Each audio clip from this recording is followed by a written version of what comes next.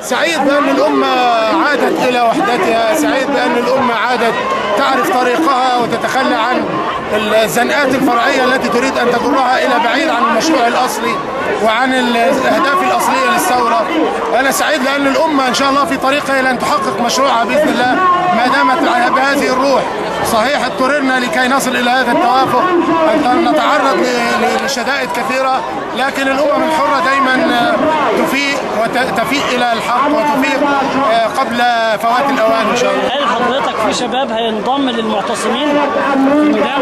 لا هو إحنا ليس عندنا اعتصام إحنا بننتهي من الوقفة اليوم. هذه التظاهرة ثم ننصرف حتى تستمر الأمور. إذا وجدنا أن المطالب لم تتحقق نرجع تاني. وهكذا إحنا التحرير ليس بعيدا. والشباب فيهم طاقة وقوة بفضل الله.